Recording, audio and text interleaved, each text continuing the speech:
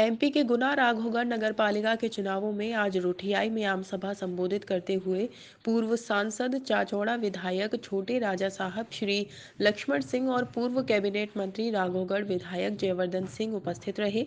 चाचौड़ा, विधायक छोटे राजा साहब ने गाना गाकर सभा को संबोधित किया और कांग्रेस सरकार के विकास के बारे में बताया कि कांग्रेस सरकार ने हमेशा गरीबों का विकास किया है।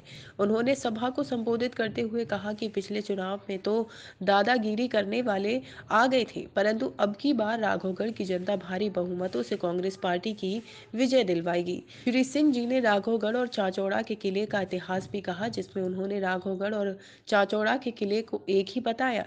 इसलिए वह चाचौड़ा और राघवगढ़ की जनता को एक ही समझते हैं, क्योंकि राघवगढ़ के किले में भी सती माता का स्थान है और चाचौड़ा के किले में भी सती माता का स्थान है। सभा में हज़ारों की संख्या में लोग उपस्थित रहे। माननीय विधायक जी ने राघोगढ़ के सभी वार्डों की जनता से मिले और कांग्रेस पार्टी को भारी बहुमतों से विजय दिलवाने के लिए जगह जगह लोगों में उत्साह देखने को मिला। राघोगढ़ नगर पालिका के चुनाव आगामी 20 जनवरी को मतदान होना है।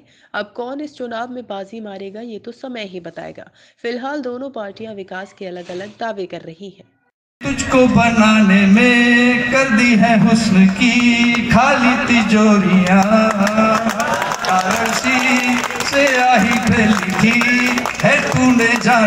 कितनों की लव स्टोरिया लव स्टोरिया देख के बड़े साहब ज़्यादा डांस करे।